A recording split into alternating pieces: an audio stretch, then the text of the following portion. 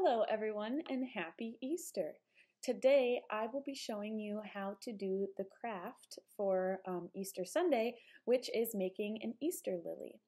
Now Easter lilies we typically have on Sunday mornings at church because they represent um, purity and new life, uh, which is what happens on Easter Sunday when Jesus is risen from the dead. So today, um, the things that we'll need to do this craft are um, this pink piece of paper that should be in the packet I sent, a yellow pipe cleaner, and a green pipe cleaner. Some things from home that you'll need are a rounded pencil and a scissors. So the first thing we're going to do is trace our hand on this pink piece of paper.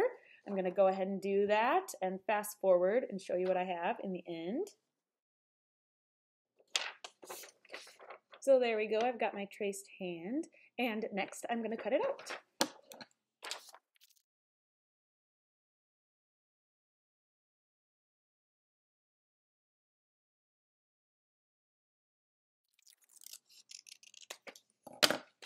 There we go. You'll kind of want to round out the bottom where your wrist would normally be.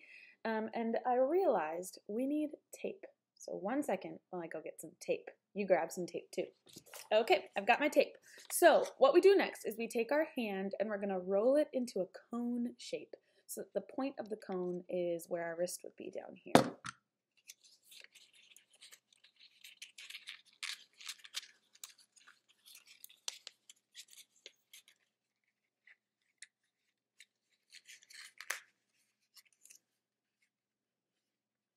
So we want to leave a very small hole at the end of our cone. That's where our pipe cleaner will go. And to keep this in the cone shape, you want to add a small piece of tape. Okay, so next you're going to take that rounded pencil or a crayon uh, or a marker and you're going to take each of the fingers on your hand and wrap them around the pencil so that they um, kind of curve out.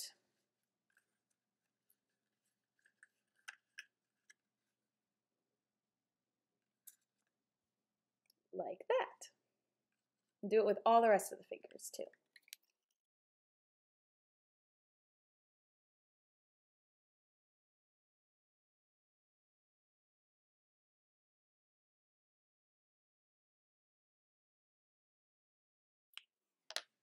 Okay, so now we have the flower part, and next we need to make the stem. So we'll put our flower down for a second and go for the pipe cleaners.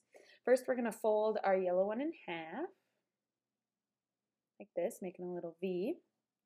And next, we're going to take one side of the V and fold it down, like that. Put that aside for a second and take the green pipe cleaner and make a little hook at the top, like this. And that's where we're going to put the V so did everybody see that? We're going to hook the green one over this yellow one. And lastly, we are going to take the long end of the V and twist it around the folded shorter edge. So then this will be like the inside of the flower and our stem. So last but not least, we put our pipe cleaner in the flower. And I think I made my hole a little bit too big, so learn from my mistake and make a smaller hole at the bottom of your cone. But you've got your beautiful Easter lily. And you can put this somewhere that will remind you about what Easter is all about. Ta-da! All right, I hope you enjoy doing that craft and happy Easter. Bye.